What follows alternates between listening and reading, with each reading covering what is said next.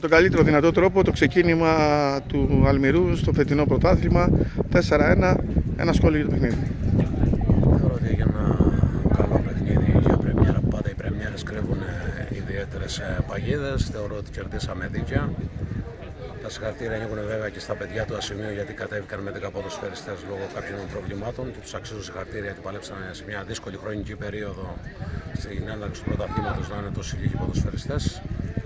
Και κοιτάζουμε εμείς από τώρα και έπειτα τη συνέχεια. Είναι αισιόδοξο τα μηνύματα μας βάσει αυτό που είδατε στην Πρεμιέρα; Ε, η ομάδα η δικιά μας δεν είναι ακόμα έτοιμη. Θέλουμε αρκετή δουλειά ακόμα. Πιστεύω ότι σε λίγο καιρό θα είμαστε έτοιμοι.